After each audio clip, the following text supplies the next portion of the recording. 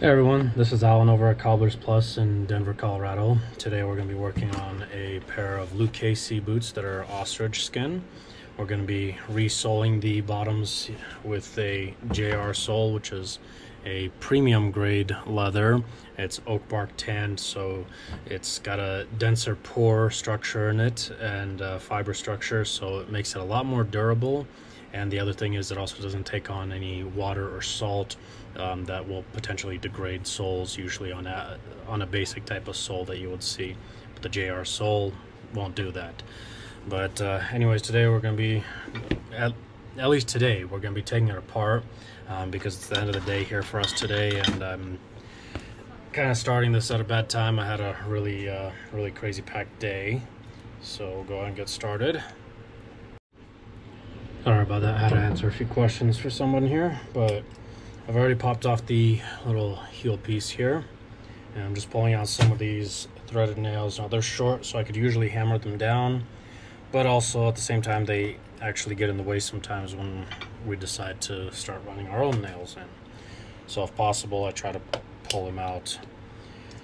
But these uh, nails are usually there just to hold down the little rubber cap that's on there.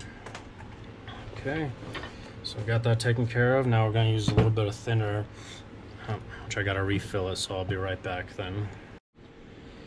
All right, now I think uh, in order to possibly save some time, what I'll actually do is, so I'm not blabbering too much, I'll probably just fast forward me taking everything apart and uh, just do what I need to.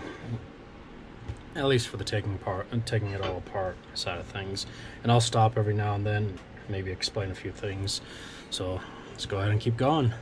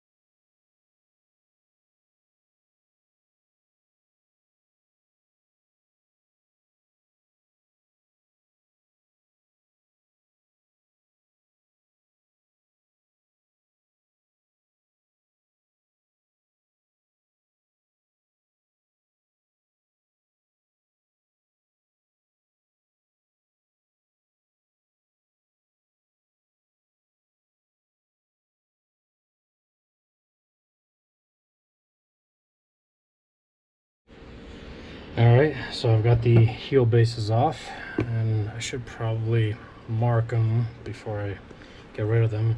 Because of how badly these heel bases are worn out, I could definitely tell which one's left, which one's right. We're actually not, not planning on replacing them. Yeah, they're still in good enough shape all the way down here. And we always try to keep the original ones as much as possible just because they are going to fit this particular boot. So we're going to be trying to save these um, by building up this heel base after we get it back on with scraps of leather and leveling it all out.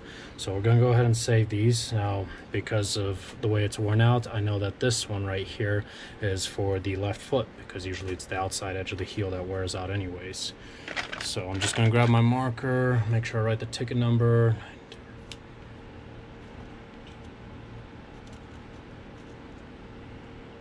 left.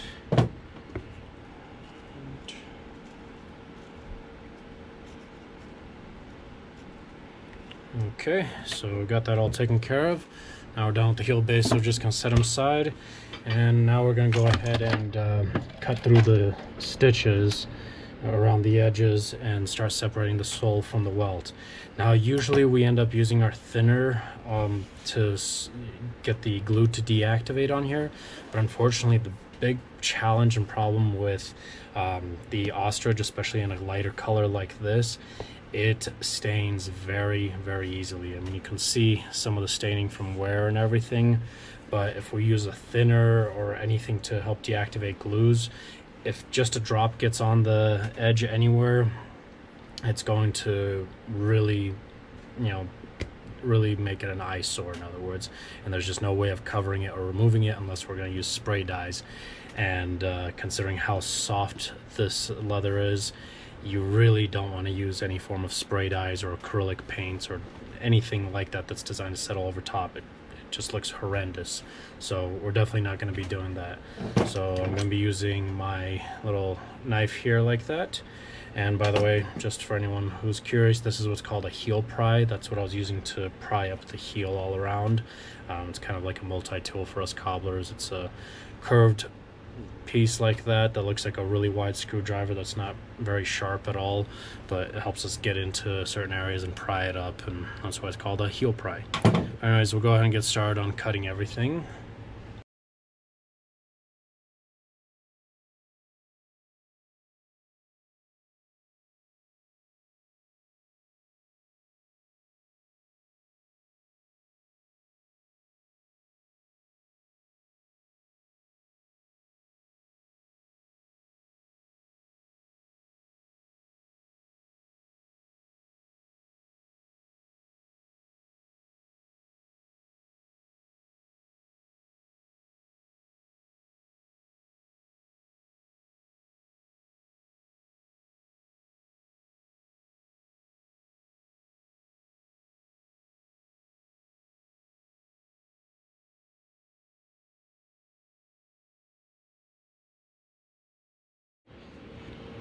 right? So we got the sole off now and um, you'd probably see me using the knife from about this area here all the way around back to right there. That's where the heel base starts and also what's called the heel ren um, this is this little plastic piece that does not get stitched through. I ended up using my heel pry to pull it off of there. In this area the sole is just glued on and then nailed in.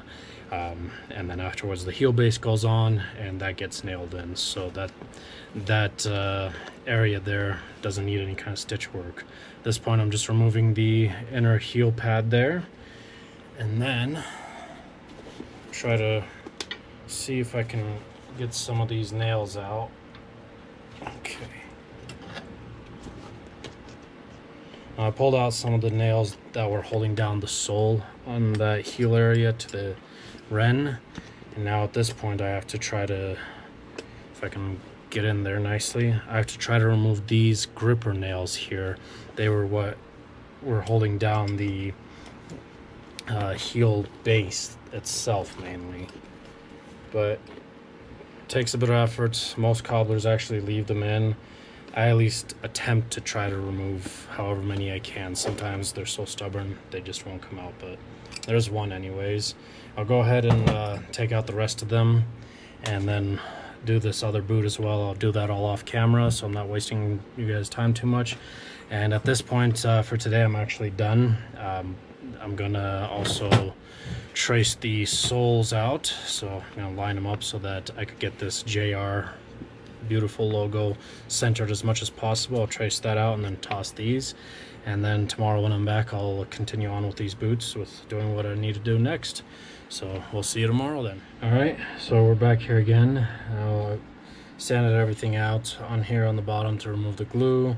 We pulled out all the old stitches inside here where the welt is and I checked through to make sure the welt is still intact so it's all stitched down nicely otherwise if there's a spot that's coming unstitched we have to stitch it down by hand I would have shown you that but this pair had no damage to the welt so we didn't have to do that luckily um, I also tacked down this uh, heel ren right there just in a few spots because usually they have these staples in the back to hold it down and then they rely on longer nails that they run through the sole area like that there that um, hold down the ren and the sole.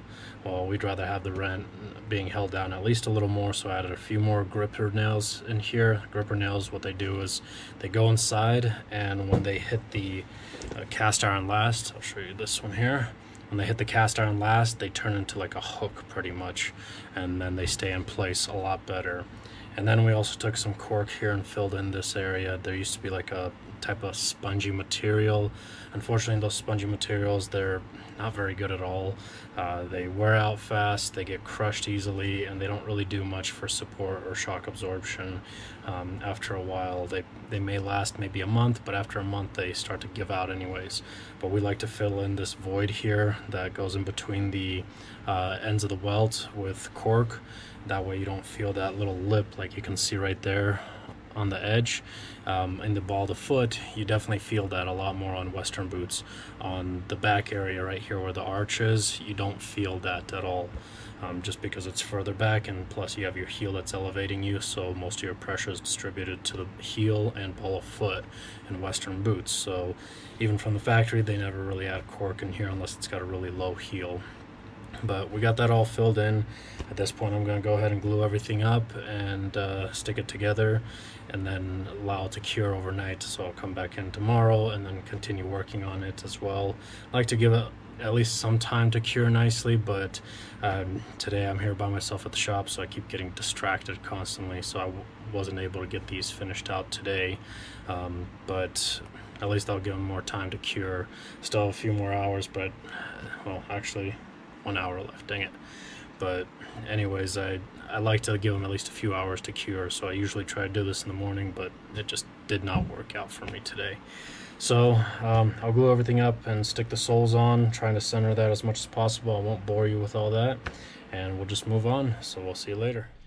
All right, so I've got everything sanded out right there where the heel base is going to be reattached, and then all the edges are a bit smoother now, trimmed out. Now we're over in our stitch room. I'm about to be stitching up that sole now. Spray it down. The water always helps um, lubricate everything a little bit to allow the needle to go through and um, slide across here a little more easily. Hang on just a second. Sorry, I had to readjust a few things on here, but let's go ahead and get started now.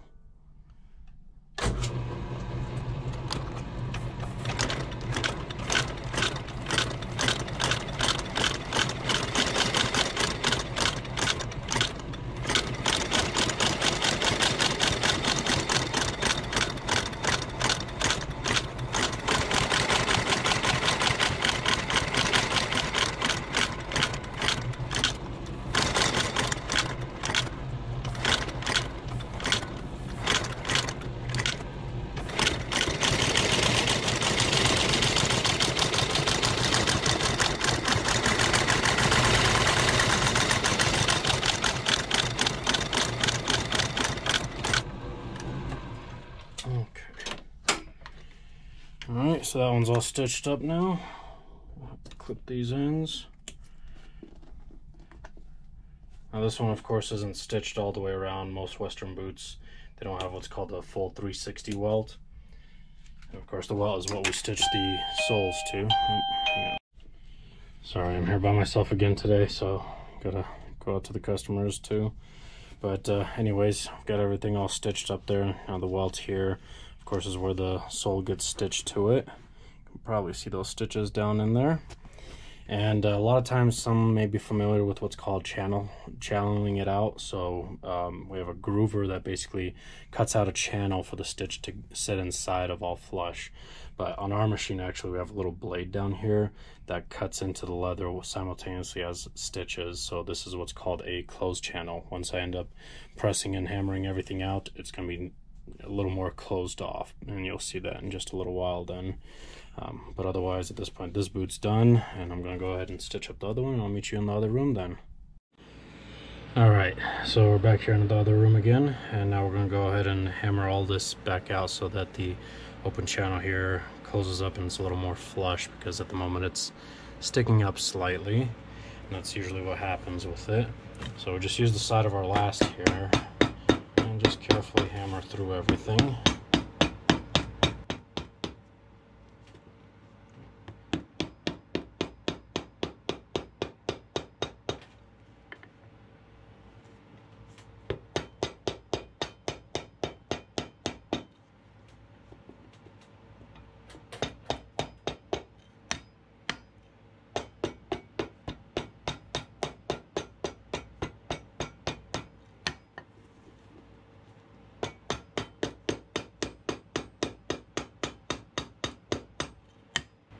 Have to hit the back of the hammer on the end here because this thing likes to slide off with all that hammering.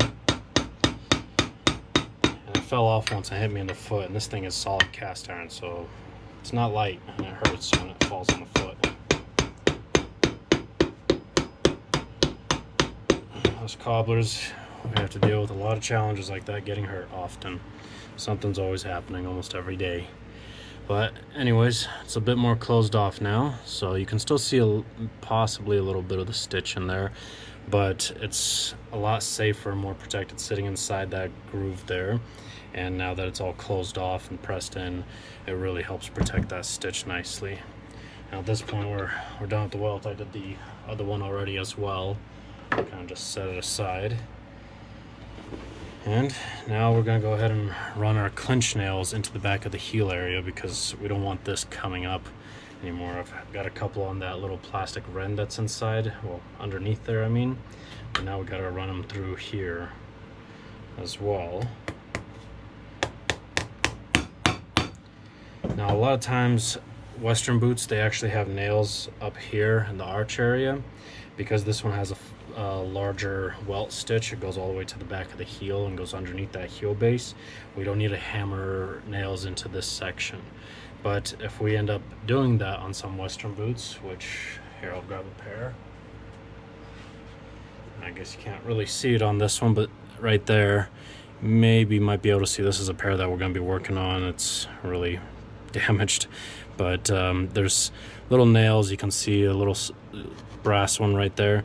That's because the welt only gets stitched up to right over here. You can see where the stitching ends at this point and we can do it that way as well but if it was original like that otherwise if we change it it's quite a bit of work actually to alter boots like that and um, definitely costs extra but in that case when we end up doing the nails in this area, they're hammered in a particular pattern, and we use a awl like this beforehand to punch the punch the holes. Otherwise, these clinch nails they're flexible, so they have a tendency to, you know, want to turn the wrong way when they're being hammered in, especially in these areas here when they're being put into place and it just looks horrible sometimes if it ends up uh, damaging the leather or anything and it's really annoying so. Better be safe than sorry and punch those little holes with an awl first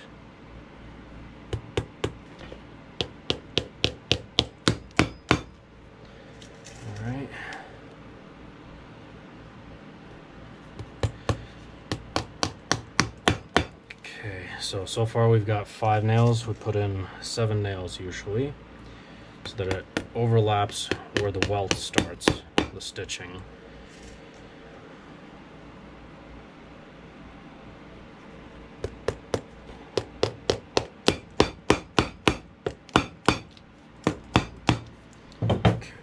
These last few here on the inside, they're sometimes a little iffy because you got that shank coming through here, so it's a little bit of a thicker area sometimes and so we gotta hit it just a little bit harder.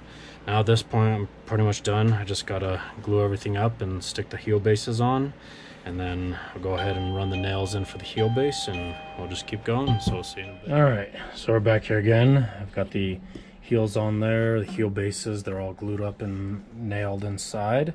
So now at this point um, we're gonna go ahead and sand everything out. Sorry, I had to try to hurry up with these boots just because this gentleman's uh, asking if he can get them done a little bit sooner because he's leaving out of town.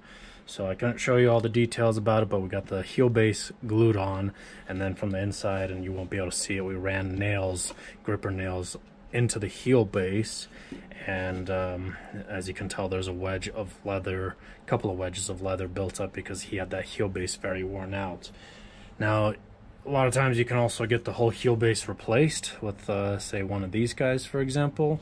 Um, a lot of times, though, for Western boots, we like to build our own from scratch. That way they're shaped and formed properly um, around everything. But we try to also save the original one as much as possible because it fits this boot in particular best. But anyways, I've sanded things out on the rough edge sander already. So at this point, I'm going to go ahead and get started with um, sanding out on this machine here. This is our 100 grit sand belts. These are lighter grit, not as rough. Up here we have what's called our Naumkeag sander. It just spins around and gives us a nice clean finished edge. And then down here, you won't really see it, but this is what's called a Brister cone. It's a cone-shaped uh, sander that allows us to get on the inside here and sand out this heel. Now, before I start, there's quite a bit uh, left over, so I'm going to go ahead and cut all that as much as I can by hand first, and then we'll go ahead and get started. So I'll see you back in just a little bit. Alright, so I cut it off just a little bit closer there on the heel now, if I get that to show.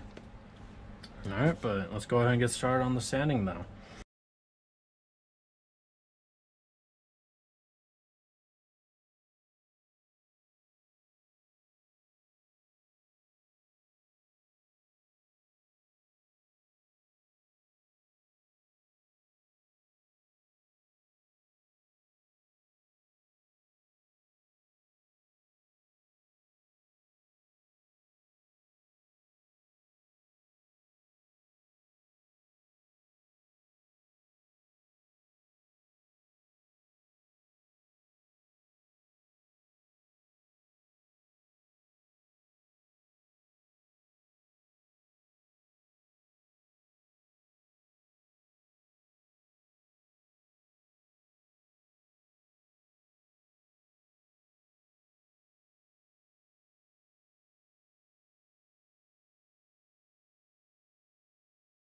Alright, so can't exactly tell, but it is much smoother now all around. So at this point, I'm going to go ahead and put the edge varnish ink on, which is basically an edge dressing. It's like an ink that goes on, and at the same time, I'll be able to go through the bottom and treat that just a little bit more. It's very basic. I'm not going to bother you with that, but once we get to varnishing the edges and everything on it, that's uh, that's when I'll let you guys see that. That's the more fun part to watch, anyways. So we'll see you back in just a little bit. Alright, so I've got the edge ink on there. As you can tell, it's not all smooth and even, but it's more of like a dye that helps give us kind of a base coat. And then touched up the bottom of the sole a little bit, so it's a little bit darker now, but still has a, more of that uh, leathered finish to it. So we'll go ahead and get started. What we're going to be using is what's called the Yankee wax. It's a really hard wax that we're going to put on our varnish wheel that's over here. It's got stacks of leather heels, so it heats up and the friction basically melts the wax into the heel base and the sole edges all around.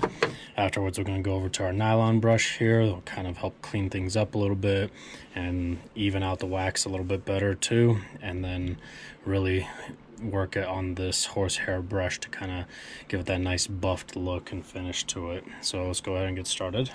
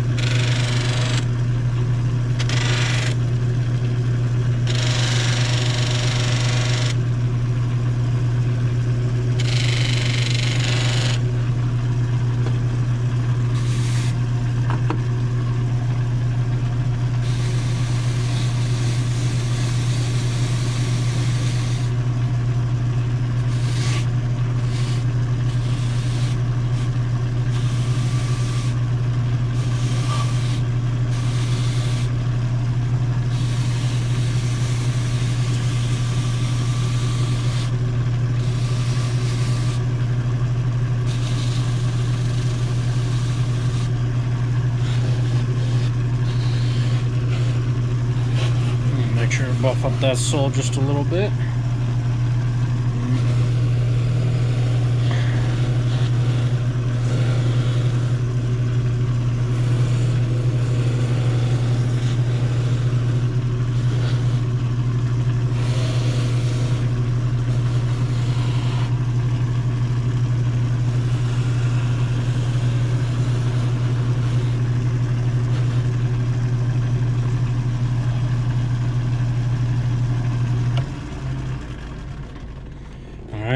So that kind of gives you an idea. You can definitely see the difference in that shine there. Let's go for the heels right there.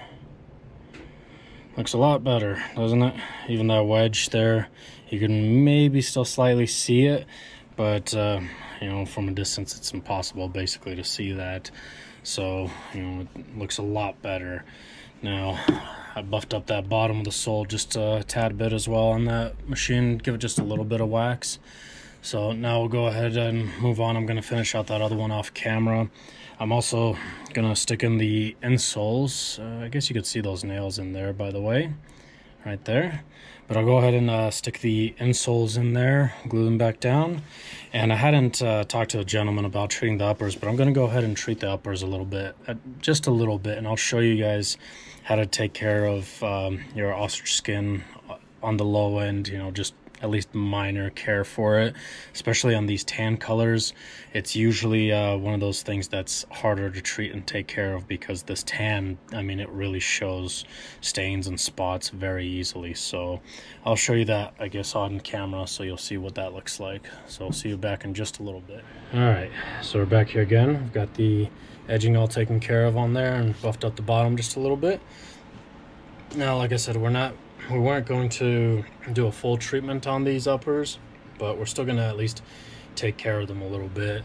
You know, it's just a shame to see something like this, you know, with a nice pair of Lucchese ostrich skins. So this will give you an idea of what you should do with your light colored ostrich, you know, kind of your basic generic treatment, in other words. Now, um, this step right here that I'm about to show you, this is if you need to clean them beforehand. Like as you can see right there, he's got some uh, damage from water and some salt buildup also. So we're gonna go through and spray it down um, with a mixture of vinegar and desalter is what we have in here. Um, now, most of you may be more familiar with just a straight desalter. This is a little more concentrated. So if you're gonna be using something more concentrated, you're just gonna apply this onto a rag and scrub it down a little bit. But because we do larger quantities, we mix it up with some vinegar and uh, the two ingredients really help out each other very nicely. And we spray down the boot like this. Now you could do it yourself as well. Basically uh, for every uh, what is it, uh, 8 ounce. For every quart of vinegar, white vinegar, you're going to use a full bottle of this pretty much. Um, and just spray it down. And that's if uh, that's if you're wanting to do it yourself, the way we're doing it right now. Now the upper doesn't really get much damage on it, but we're still going to spray it down because once you get them wet like we are right now, you want to make sure you get the whole thing wet. And of course they're going to darken up quite a bit. That's normal because of course it's wet. And then we take our soft nylon brush. This is one of my favorite brushes from Angelus actually. Um, I've been trying to see if I can get a hold of just the brushes. They only come in these little kits. So, you know, that's what I'm working on. trying to get a hold of just the brushes for our own use and for anybody that may want to purchase them. But it's a soft bristle brush, so it's perfect for something like this. Now the other thing also as a cleaner if you want to use is the Angelus Easy Cleaner or also there's one by Lincoln, Lincoln Easy Cleaner as well. And same thing, you just pour it onto a rag and uh, scrub it down. Now if you have a nylon brush like this that's nice and soft, you just pour it into a small little bowl. Of course you don't want to use the bowl afterwards, um, but just dip the brush in there and scrub it down. For us it's easier because we got the spray bottle. Now don't forget to clean the inside of the welt with the brush a little bit too. Even though we stitched it and everything, we're still going to go through just in case if there's any dust or debris left over in there. Now, of course, it's kind of damp there, um, so we're gonna let it dry for a little while. And it's a shame. There's a few little pieces missing there. It uh, kills me to see something like that some days.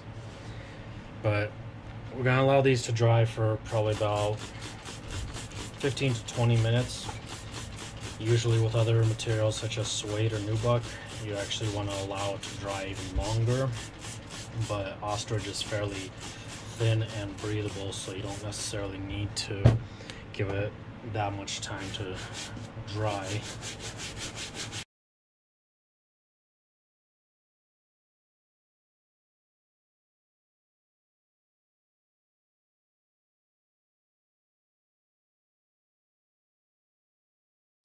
So that's all taken care of. Now we're just to let it dry and we'll meet you back here in just a little bit. Alright, so we're back here again. We've allowed everything to dry nicely. Now we're to be using Saphir's Delicate Cream. It's uh, wheat protein and uh, jojoba oil based, so it's to be very delicate on cleaning and conditioning this as well as protecting it too. Does a really good job actually of protecting it against water damage. Now as far as color restoration, it'll do some but not much. So as you can see that toe there, there's not too much that could be done to it unfortunately unless we use something a little bit stronger that's more pigmented but it doesn't look too great so I usually recommend trying to leave that alone. Alright, well I gotta hurry. This gentleman's actually here for these so gotta finish them up. But anyways, I like to um, use a dauber brush for when I'm applying this on just because the horsehair bristles they really get into every nook and cranny nicely. You can use this on a wide variety of leathers also um, other exotics as well as a regular leather like this one here. It doesn't do too much for the conditioning aspect of it but it needs to be reapplied a little more frequently, probably on average, maybe once every uh, every month to three months. Just because, again, this is a very delicate cream. It's not strong or as heavy as, say, the renovating cream, which is mink oil based. Um, unless you take it up to the Medal d'Or line, which has also got some lanolin, uh, lanolin in it. I can't talk today. But it will definitely darken up this upper significantly. Now, as you can tell, of course, it's darkening it up in certain areas at the moment, but it will lighten up a lot. I mean, it'll go back to what it was originally and not stay that color. So, you know, of course, anytime you're making something wet, it's going to look like that. But just make sure you get through it all nicely and everything. Put a nice coat on there. You don't need to brush it off quite yet just because you want to allow it to soak in to the leather. But you don't need a lot of time for it to soak in anyways. Just while you're doing each boot individually, that's usually plenty of time.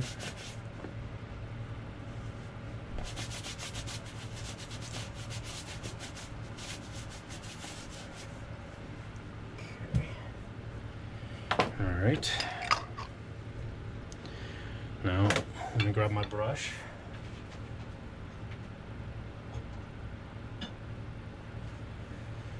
Now we're just going to use one of these uh, larger horsehair brushes to just kind of buffer over.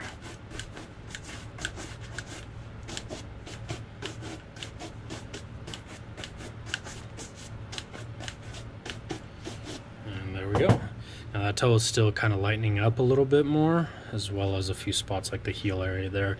The parts that tend to get really beaten up in most wear, like the toe or the heel, now they're going to show the most darkest um, for a little while, probably about uh, maybe 15 20 minutes.